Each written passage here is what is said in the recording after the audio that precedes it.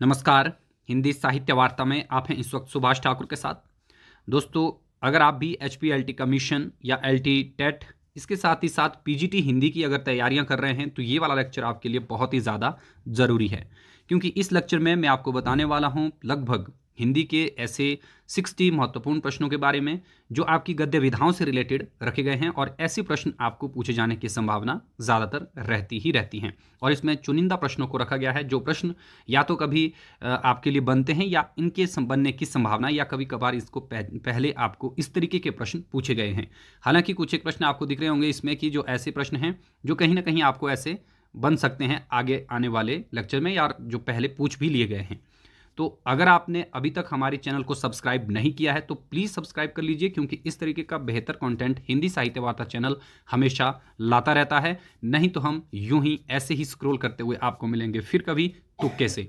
तो चलिए आज के इस लेक्चर की शुरुआत करते हैं और इसमें जो सिक्सटी क्वेश्चन हैं, उनको सॉल्व करने की कोशिश हम करते हैं। सबसे पहला प्रश्न यहाँ पर रखा गया है, अवस्था के अनुकरण को ही नाटक कहते हैं। यह कथन किसका है? तो यहाँ देखिए, आपने देखा होगा, नाटक हो गया, निबंध हो गया, इस तरीके के प्रश्न आपको बहुत ज़्यादा पूछे जाते हैं। नाटक और निबंधों के बारे में पाश्चात्य चिंतक, भारतीय चिंतक क्या कहते हैं? इस संदर्भ में आप देख रहे होंगे, लगातार एलटी कमीशन में इस तरीके के प्रश्नों को पूछा जा रहा है और फोकस किया जा रहा है। और उन्हीं प्रश्नों को थोड़ा सा ध्यान में रखते हुए मैंने ये सिक्सटी क्वेश्चन बनाने की कोशिश की है। तो एक और महत्वपूर्ण चीज़ आपके लिए ये भी है कि अगर आप अभी तक हमारे जो एलटी कमीशन के ग्रुप हमने स्टार्ट किया है नया batch L T commission L T TET and P G T Hindi के लिए, जो लाइव क्लासेस वाले हैं हमारे लेक्चर्स होने जा रहे हैं, उसके लिए अगर आपने अभी तक खुद को एनरोल नहीं किया है तो आप उसमें भी हमारे साथ जुड़ सकते हैं। नीचे व्हाट्सएप आपका नंबर जो है डिस्क्रिप्शन में आपको मिल जाएगा। तो आप वहाँ से हमारे साथ व्हाट्सएप में कंटेक्ट करके आगे आने वाले जितने भी हमारे जो ये तीन बैचेज़ हैं, उसमें खुद को एनरोल कर सकते हैं और लाइव क्लासेस हमारी टीचमेंट पर होती हैं। वहाँ से आप हमारे साथ जुड़ सकते हैं। तो चलिए आई थिंक अभी तक आपने इसका आंसर सोच लिया होगा कि अवस्था के अनुकरण को ही नाटक कहते हैं, यह किसका कथन है? तो यह कथन है आपका धनंजय का। विकल्प नंबर बी इसका क्या होगा? राइट आंसर होगा। हालाँकि जो आपके पाश्चात्य चिंतक और भारतीय जो चिंतक रहे हैं, उन सबने क्या कहा? कि जो नाटक है, ये क्या आपका? विशेष परिस्थितियों का जो है अनुकरण है। तो इसको कहा जाता है आपका कि नाटक ये है। हालाँकि आप देखेंगे नाटकों के संदर्भ में आपको अलग अलग राइटर्स जो है, पाश्चात्य जो चिंतक है, वो भी पूछे जाते हैं। तो उस चीज़ को भी आपने ध्यान रखना है। अनुकरण शब्द से यहाँ पर अरस्तु नहीं होगा, ये चीज़ आपने ध्यान रखनी है। अनुकरण वैसे सबने माना है। विशेष तौर पर यहाँ पूछी गई एक जो पंक्ति है, इसको आपने ध्यान रखना है कि अवस्था के अनुकरण को नाटक कहा है। धनंजय ने, धनंजय की प्रसिद्ध रचना रही दशरूपक। उसके बारे में भी आपको याद रखना है। चलिए नेक्स्ट प्रश्न देखिए, नाटक को पंचम वेद किसने कहा है? तो इस वाले प्रश्न का उत्तर तो बंद आँखों से सब लोग देते हैं और ये प्रश्न बार बार रिपीट होता रहता है, इसलिए यहाँ पर इस प्रश्न को रखा गया है। पंचम वेद की संज्ञा दी थी भरत मुनि ने नाटक को। इंपॉर्टेंट प्रश्न है देखना, इसको भी आपने ध्यान रखना है। तीसरा प्रश्न ठीक ऐसे ही रखा गया है यहाँ पर, भारतीय नाटकों का उदय लोकप्रिय स्वांगों से हुआ है, यह कथन किसका है? इंपॉर्टेंट प्रश्न है देखना, इस तरीके का प्रश्न आपको अभी तक पूछे जा रहे हैं लगातार एल कमीशन की परीक्षा में। आपने देखा होगा, इससे पहले पूछा गया था कि नाटक क्या है, वो आपके मृत वीरों की पूजा से उसका जन्म हुआ तो ये रिजले ने कहा था लास्ट टाइम पूछा गया था। और पिशेल ने क्या माना कि ये कठपुतलियों का खेल है? लेकिन यहाँ पर क्या है, नाटकों का जो उदय है, ये लोकप्रिय स्वांगों से हुआ है तो इसका जो सही आंसर होगा, देखिए, ये होगा प्रोफेसर कोने और एक और राइटर हुए हैं आपके प्रोफेसर हिलेब्रा। उन्होंने माना कि आपका जो नाटक है, ये किसका, इसका उदय कहाँ से हुआ है? लोकप्रिय स्वांगों से हुआ है। ये चीज़ आपने फोकस इनके बारे में करनी है इंपॉर्टेंट चीज़ है। राइट आंसर होगा आपका प्रोफेसर कोने। तो पाश्चात्य चिंतक नाटकों के बारे में क्या कहते हैं, इसको आप ध्यान रखिए। अभी आप देखेंगे, टेट की परीक्षा में पूछा गया था, जो भारतीय चिंतक हैं, भारतेंदु का कथन पूछा गया था कि नाटक क्या है? नट लोगों के कला का नाम है, नाटक। तो भारतेंदु हरिश्चंद्र का ये कथन अभी टेट में पूछा गया था। हो सकता है आपको भी पूछा जाए तो इसको भी आप ऐड कर सकते हैं। नेक्स्ट क्वेश्चन है यहाँ पर, देखिए, भरत मुनि की देखरेख में सर्वप्रथम किस नाटक का अभिनय किया गया? तो भरत मुनि के देखरेख में सब, सबसे पहला नाटक जो अभिनीत किया गया था, ये था आपका अमृत मंथन। इसको भी आपने ध्यान रखना है। एंड सबसे पहले जो नाटकों की अगर हम बात करें कि नाटक का प्रवर्तन किसने किया था तो ब्रह्मा ने जो देवताओं के आग्रह पर किया था नाटकों का नाटक का, या यूँ कहें आपके नाट्य का उन्होंने एक तरीके से इसको प्रवर्तन किया था। उन्होंने चारों वेदों से कुछ कुछ चीज़ें ली थी। इनके बारे में आप मुझे कमेंट सेक्शन में जाकर बता सकते हैं कि किस वेद से उन्होंने कौन सी चीज़ ली थी। इंपॉर्टेंट प्रश्न है, बनता है ये वाला भी। किससे संगीत लिया, किससे आपका दूसरी चीज़ें उन्होंने ली, ये चीज़ आपको ध्यान में रखनी है।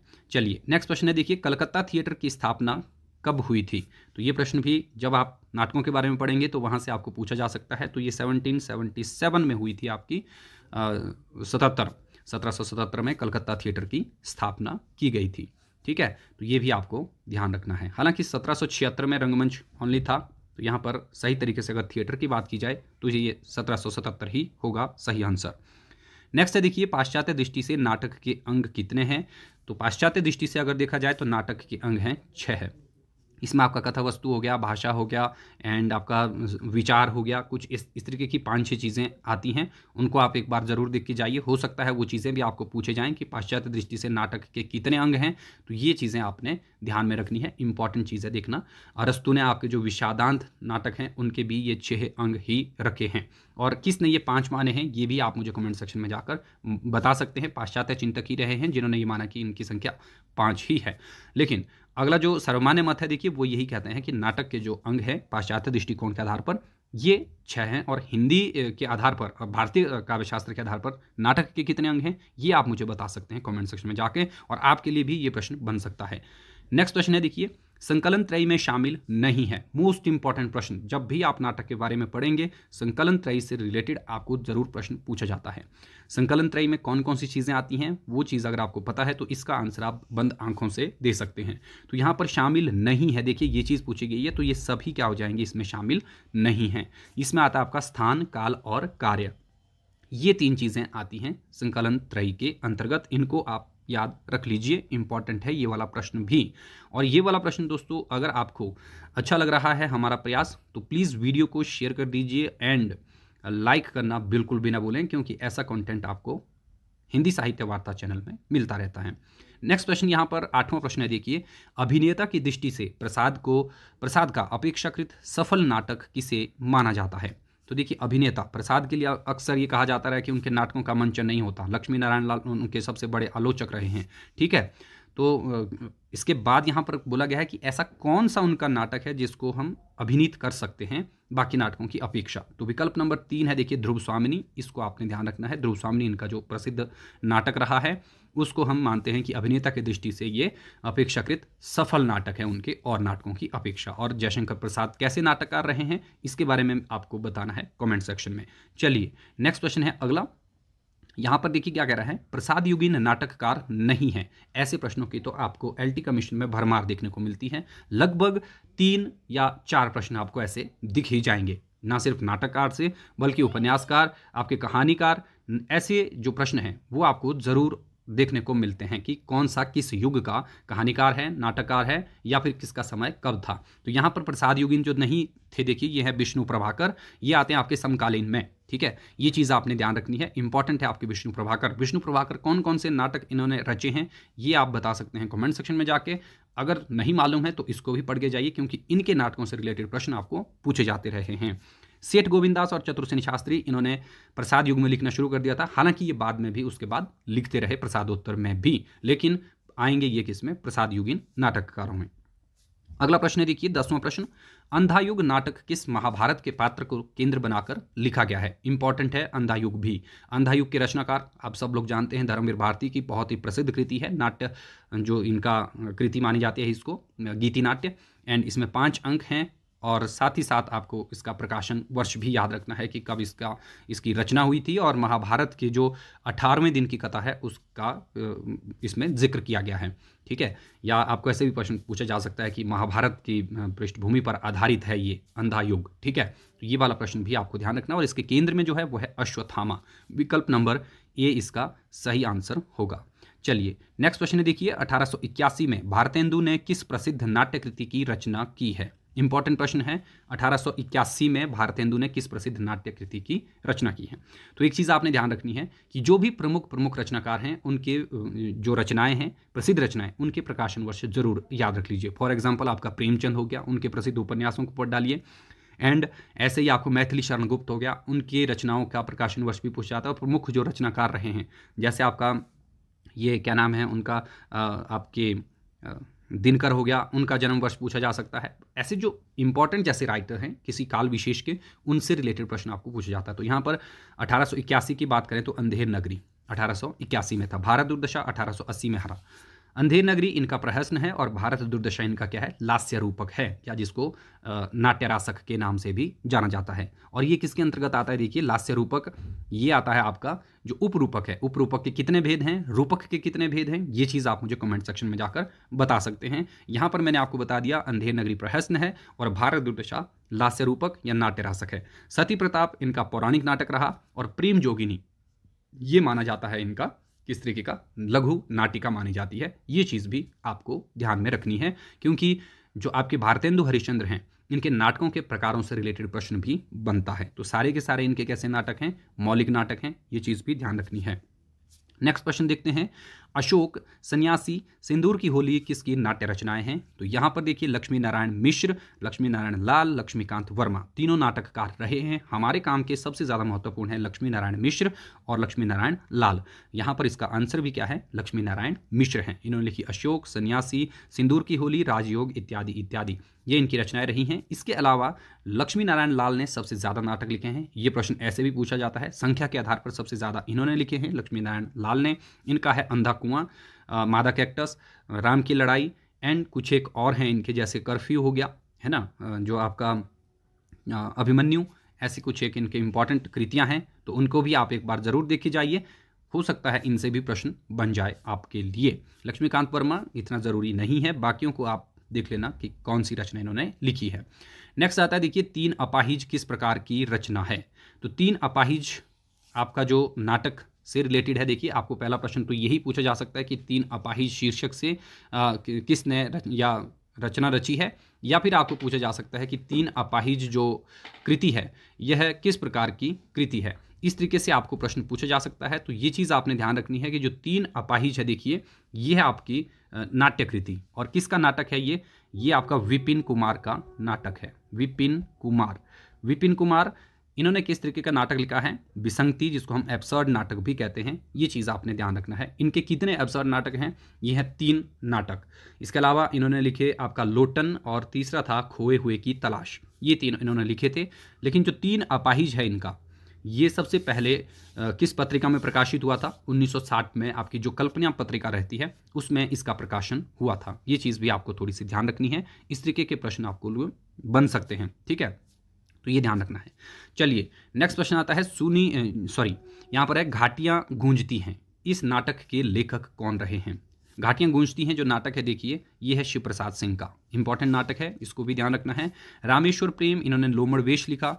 रमेश उपाध्याय ने पेपर वेट नामक आपके जो एक नाटक रहा है, उसकी रचना की है तो इस तरीके का प्रश्न आपके लिए बन सकता है। एंड जो सुदर्शन चोपड़ा रहे, इन्होंने काला पहाड़ नामक नाटक लिखा है। इंपॉर्टेंट नाटककार हैं ये चारों। इनसे रिलेटेड प्रश्न आपको सीधे से पूछे जा सकते हैं। नेक्स्ट प्रश्न है, देखिए, पृथु और शुक्राचार्य। किस नाटक के पात्र हैं? तो पात्रों से रिलेटेड प्रश्न, भी नाटकों से पूछा जाता है। देखिए, नाटक से रिलेटेड प्रश्न ज़्यादा बनेंगे।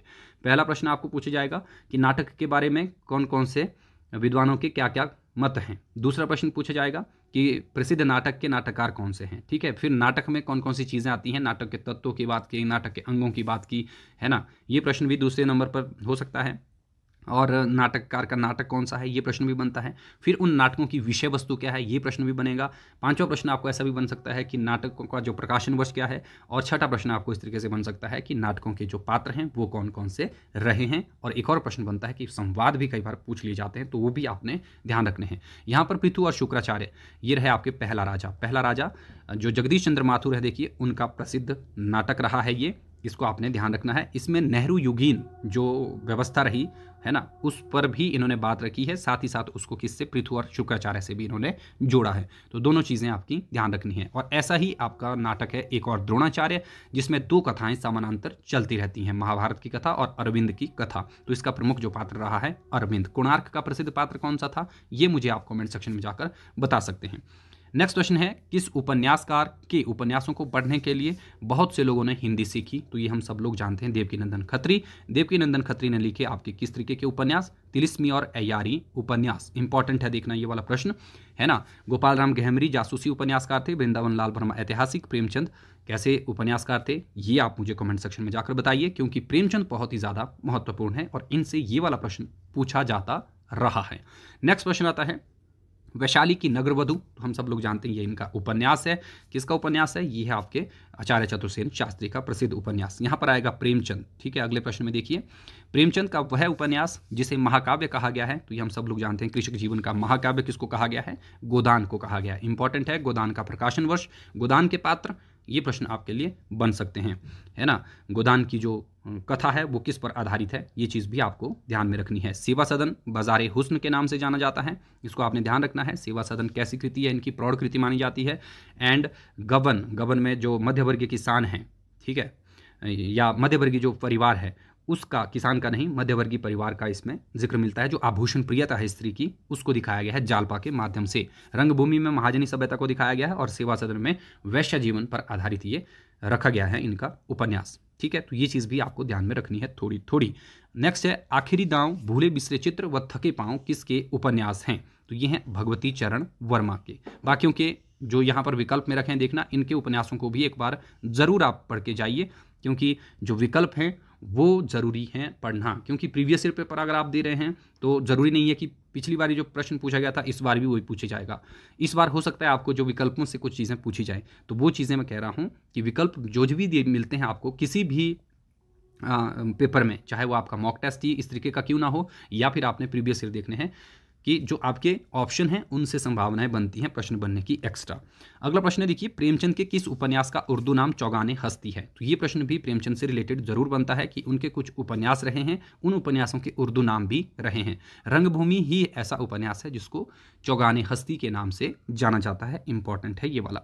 सेवा सदन बाज़ार हुस्न, ये हमने पहले ही बता दिया। कर्म भूमि इन्होंने इसी नाम से लिखा था और प्रेमाश्रय गोशाय आफियत, इनका महत्वपूर्ण उपन्यास रहा है। एक और आता है इनका जो गबन है, देखिए, उसको कृष्णा के नाम से रखा गया था पहले। ठीक है? मानस का हंस अमृतलाल नागर की प्रसिद्ध कृति है, इसको भी ध्यान रखिए, उन्नीस सौ बहत्तर था इसका प्रकाशन वर्ष। ये भी आपको पूछा जा सकता है और इसमें जो आपके तुलसीदास थे, उनके जीवन पर आधारित ये उपन्यास लिखा गया है। मेला आंचल में पूर्णिया ज़िले के किस गाँव की कथा है? मेला आंचल, पहला आंचलिक उपन्यास, इसको याद रख लीजिए, है ना? और जो आपके डॉक्टर गोपाल राय थे। उन्होंने किसे हिंदी का पहला आंचलिक उपन्यास माना है, ये कमेंट सेक्शन में जाकर आप बता सकते हैं, लेकिन सर्वमान्य जो मत है, वो मेला आंचल की ओर जाता है। तो इसमें थी मेरीगंज, गाँव की कथा।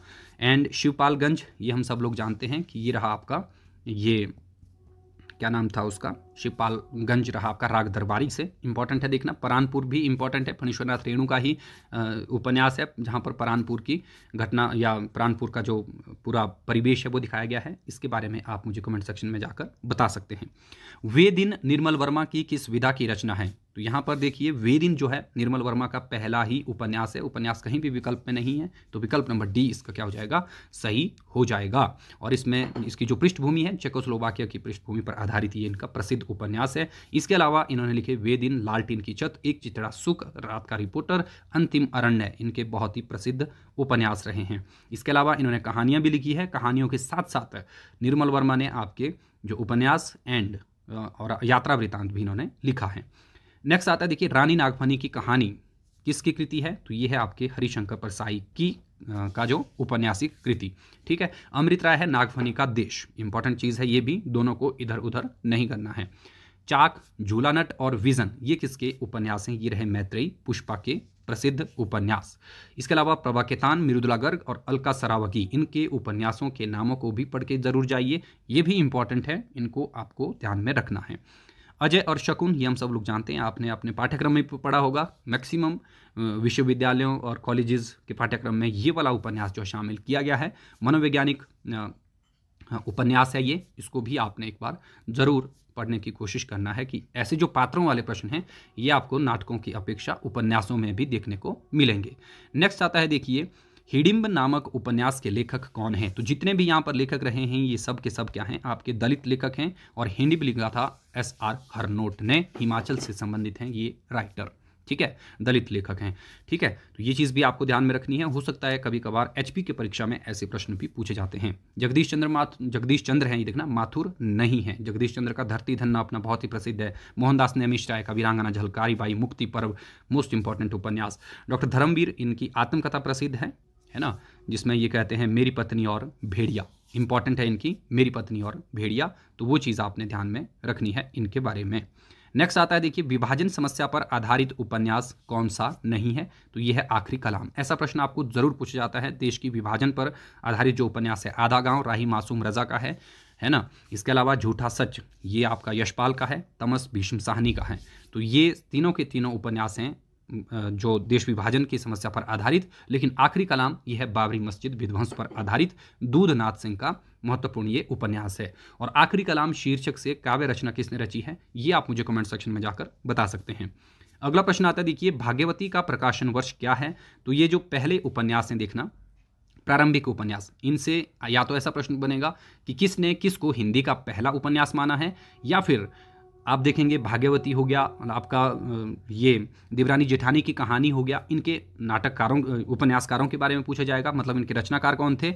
एंड दूसरा प्रश्न आपको ऐसा बनता है कि इनका जो प्रकाशन वर्ष है, जो इस तरीके का प्रश्न पूछा जाएगा। तो यहाँ पर भाग्यवती का पूछा गया है, श्रद्धाराम फिलौरी का है, अठारह सौ सतहत्तर। और इसको हिंदी का पहला उपन्यास किसने माना? विजय शंकर मल्ल ने माना है। ये प्रश्न भी इंपॉर्टेंट है तो इसको भी आप देख सकते हैं। चलिए नेक्स्ट प्रश्न है, देखिए, सोनी घाटी का सूरज के लेखक कौन है? तो ये है श्रीलाल शुक्ल का बहुत ही प्रसिद्ध उपन्यास। इसके अलावा श्रीलाल शुक्ल की एक और महत्वपूर्ण कृति रही है, राग दरबारी। उसके बारे में हम सब लोग जानते हैं। यहाँ पर श्रीधर पाठक, ये आपके कविता रचते हैं, कवि हैं और श्रीकांत वर्मा ने भी अपना काव्य ज़्यादातर रचा है, ठीक है? तो ये दोनों तो बिल्कुल भी विकल्प में नहीं होने थे। सही आंसर था आपका श्रीलाल शुक्ल। चलिए नेक्स्ट क्वेश्चन देखते हैं, कौन सी कहानी अंतिम नहीं है? सालवती आपके प्रसाद की अंतिम कहानी है, कफन किसकी अंतिम कहानी है, प्रेमचंद की अंतिम कहानी है, और जो सुखमय जीवन है, ये आपका क्या हो जाएगा, ये अंतिम कहानी नहीं बल्कि पहली कहानी है, चंद्रधर शर्मा गुलेरी की। तो राइट आंसर होगा आपका सुखमय जीवन, ये दो यहाँ पर नहीं होंगी।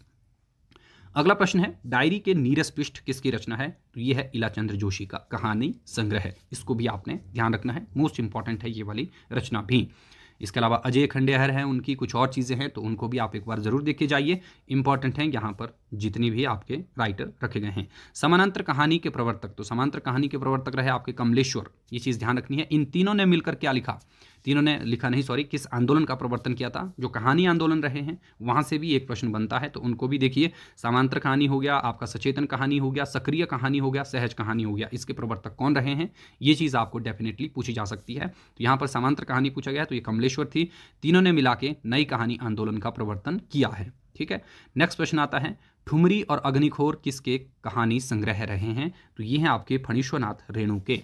इंपॉर्टेंट रचनाकार हैं फणीश्वरनाथ रेणु, इनकी कहानियाँ भी प्रसिद्ध रही हैं, है ना? जैसे ठेस हो गया, ऐसी इनकी कुछ एक कहानियाँ हैं। और तीसरी कसम वेरी वेरी इंपॉर्टेंट ये भी पूछी जाती है, शेखर जोशी की दाजियो इंपॉर्टेंट है, अमरकांत की डिप्टी कलेक्ट्री, दोपहर का भोजन इंपॉर्टेंट है है ना? तो उनको भी आपने देखना है, ये भी पूछे जाते रहे हैं परीक्षा में।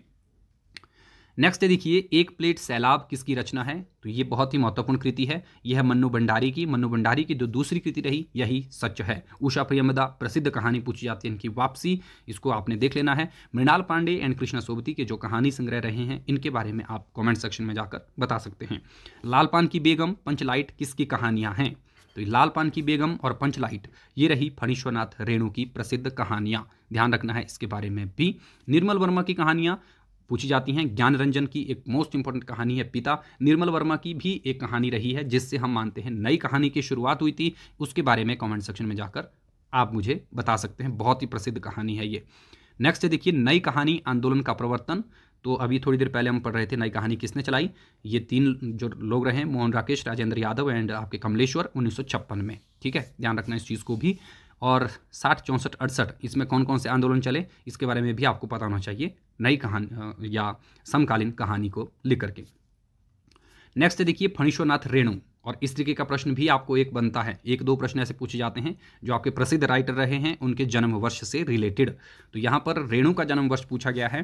तो रेणु का जो जन्म वर्ष है, देखिए ये है 1921 4 मार्च 1921 के आसपास इनका जन्म माना जाता है। तो ये ध्यान रखना है आपने इंपॉर्टेंट है ये वाले प्रश्न। अठारह सौ छियासी फणीश्वरनाथ रेणु नहीं, बल्कि यहाँ पर मैथिली शरण गुप्त रहे, उन्नीस सौ आठ में आपका दिनकर का जन्म हुआ है। नेक्स्ट है नूरे शमी किस कहानी के पात्र माने जाते हैं? तो ये रहे आपके ईदगाह। ईदगाह इंपॉर्टेंट है देखना। ईदगाह और पूस की रात एंड साथ साथ कफन, इन तीनों कहानियों के पात्रों के बारे में प्रश्न बन सकता है। तो ये ध्यान रखना है मोस्ट इंपॉर्टेंट कहानियाँ हैं इनकी। ठीक है? ईदगाह अमीना और जो हामिद हैं, ये इसके प्रसिद्ध पात्र हैं। उनको भी याद रखना है। पूस की रात के आप पात्र मुझे बता सकते हैं। नेक्स्ट है, कहानी छोटे मुँह, बड़ी बात करती है। कहानियों के संदर्भ में भी देखिए, बहुत सारी चीज़ें हैं। मतलब आपके राइटरों के कथन हैं, वो भी याद रखने हैं। तो ये कहा था डॉक्टर नामवर सिंह ने। नामवर सिंह रहे आपके प्रगतिवादी लेखक या प्रगतिवादी समीक्षक या आलोचक, इनको आप कह सकते हैं। बहुत ही महत्वपूर्ण नाम है, प्रसिद्ध नाम रहा है डॉक्टर नामवर सिंह का। प्रेमचंद ने माना कि जो आपकी कहानी होती है, उसका जो कथानक है, वो किसी, जो आपका मनोवैज्ञानिक सत्य पर आधारित होना चाहिए। तो ये प्रेमचंद ने इस तरीके से कुछ बात कही है, वो भी आपने एक बार ज़रूर देखनी है। हरिवंश राय बच्चन ने डायरी शीर्षक दिया था। हरिवंश राय बच्चन ने अपनी जो डायरी को दिया था, प्रवासी की डायरी नाम।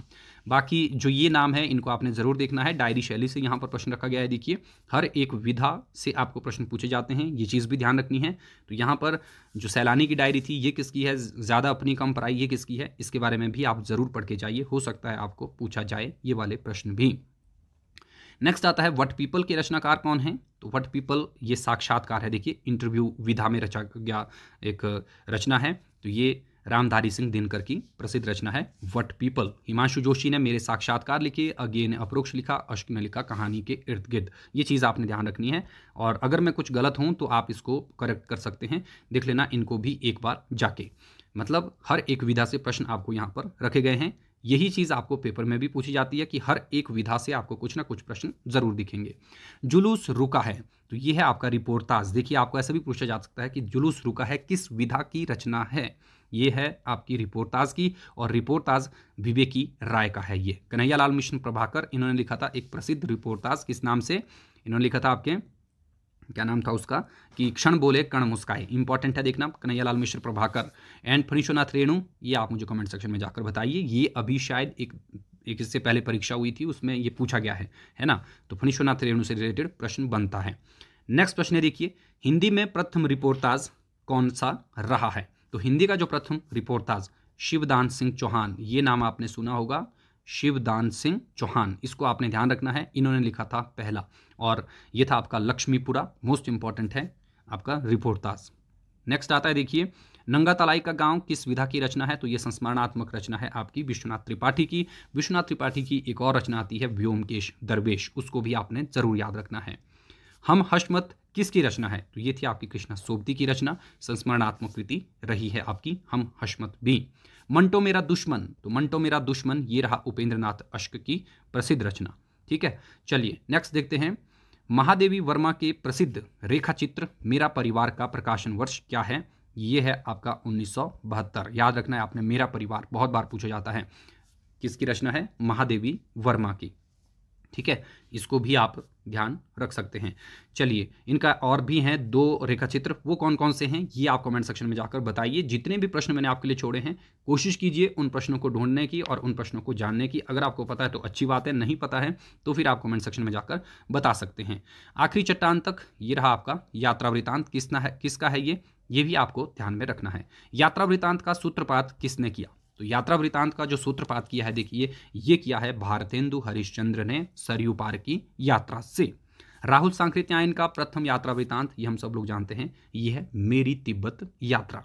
इसको याद रखने की एक सिंपल सी ट्रिक है, उसको भी आप बना सकते हैं अपने हिसाब से किसी भी तरीके की। शिखर से सागर तक में किसकी जीवनी है? यहाँ पर देखिए, शिखर से सागर तक मैं पूछा गया है कि इसमें किसकी जीवनी को रखा गया है? इस शीर्षक से। तो ये है अज्ञे की जीवनी, लिखी किसने थी ये? रामकमल राय ने। प्रश्न को समझना है कि किस तरीके से पूछा जा रहा है। नेक्स्ट आता है, देखिए, कलम का सिपाही के लेखक कौन है? कलम का जो सिपाही, ये रहे देखिए आपके अमृत राय। इन्होंने अपने पिता के लिए लिखी थी, प्रेमचंद के लिए। प्रेमचंद का जो मूल नाम था, वो क्या था? इसके बारे में भी आपको ध्यान रखना है। है ना? तो इन्होंने प्रेमचंद के लिए लिखी कलम का सिपाही, शिवरानी देवी ने लिखी प्रेमचंद घर में और मदन गोपाल ने लिखी थी कलम का मजदूर। ठीक है? इंपॉर्टेंट है ये वाला प्रश्न भी, इसको भी ध्यान में रखना है। जूठन का प्रकाशन वर्ष क्या है? तो जूठन का प्रकाशन वर्ष था उन्नीस और जूठन किस विधा की रचना है? यह है आत्मकथा और कैसी आत्मकथा रही? दलित आत्मकथा रही ओम प्रकाश वाल्मीकि की। है ना? और दूसरा प्रश्न ऐसा भी बन सकता है कि पहली जो दलित आत्मकथा किसको माना जाता है? तो वो है आपका उन्नीस में अपने अपने पिंजरे मोहनदास नैमिश राय की। ठीक है? तो ये भी आपके लिए इंपॉर्टेंट प्रश्न बनता है। दलित आत्मकथा लेखक नहीं है। तो यहाँ पर देखिए तुलसीदास लिखा गया है। अगर यहाँ पर तुलसी राम होता, तब ये प्रश्न ठीक हो जाना था। इसका जो सही आंसर होगा, वो होगा तुलसी दास माता प्रसाद गुप्त ने झोंपड़ी से राजभवन लिखा है। इनका जो दलित आत्मकथा रही है, धर्मवीर की मेरी पत्नी और भेड़िया आत्मकथा है। रूपनारायण सोनकर, इन्होंने नागफणी नाम से अपनी आत्मकथा लिखी है। तो ये चीज़ आपने ध्यान रखनी है। रूपनारायण सोनकर का एक प्रसिद्ध उपन्यास भी रहा है, सुअर दान। ठीक है? उसको भी याद रखिए। नेक्स्ट क्वेश्चन आता है, देखिए।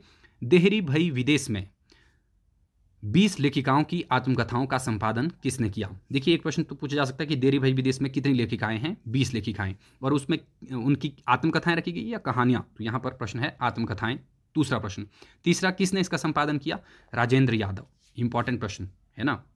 ध्यान रखना है। और कमलेश्वर ने बारह लेखकों को रखकर उनकी आत्मकथाओं का संकलन किया था गर्दिश के दिन शीर्षक से। तो ये चीज़ भी आपको ध्यान में रखनी है। हो सकता है ये चीज़ भी पूछी जाए। राजेंद्र यादव की आत्मकथा का शीर्षक क्या है?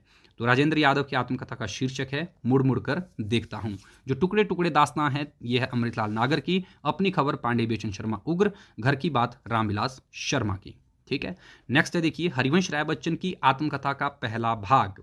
इंपॉर्टेंट है हरिवंश राय बच्चन की, न सिर्फ़ एल कमीशन के लिए पीजीटी के लिए भी और आपका जो यूजीसी नेट में भी इस रचनाकार को पूछा जाता रहा है है ना? यहाँ पर कई बार जैसे अगर आप पीजीटी की परीक्षा देने जा रहे हैं तो इनको क्रमानुसार लगाने के लिए पूछा जाता है। सबसे पहले आती है, क्या भूलूं, क्या याद करूँ?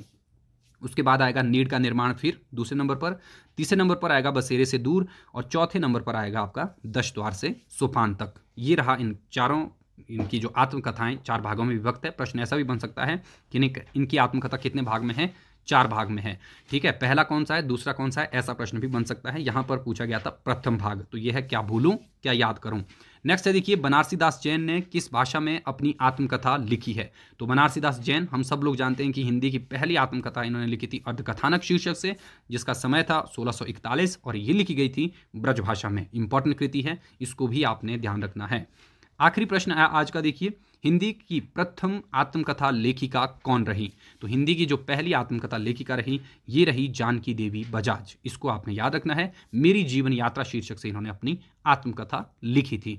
इसके साथ ही साथ कृष्ण अग्निहोत्री, इनकी बहुत ही प्रसिद्ध आत्मकथा रही है, जो अक्सर परीक्षा में पूछी जाती रही है तो उससे रिलेटेड प्रश्न भी आपको बन सकता है। तो कौन सा है वो, इनकी आत्मकथा का शीर्षक, ये आप मुझे कमेंट सेक्शन में जाकर बता सकते हैं। तो ये थे आज के 60 प्रश्न। अगर आपको इन प्रश्नों में कहीं भी कुछ भी डाउट लगता है तो आप मुझे कमेंट सेक्शन में जाकर बता सकते हैं। लास्ट में दोस्तों, आपको ये बताना है कि आपको हमारा ये वीडियो आपको हमारा ये प्रयास कैसा लगा? अगर आपको अच्छा लगता है तो प्लीज़ अपने दोस्तों के बीच में इस वीडियो को ज़्यादा से ज़्यादा शेयर कीजिए और चैनल को सब्सक्राइब बिल्कुल भी मत भूलिएगा करना। तो फिर मिलेंगे नई ऊर्जा और नई स्फूर्ति के साथ। तब तक के लिए मुझे दीजिए इजाज़त। शुक्रिया। जय हिंद। जय भारत।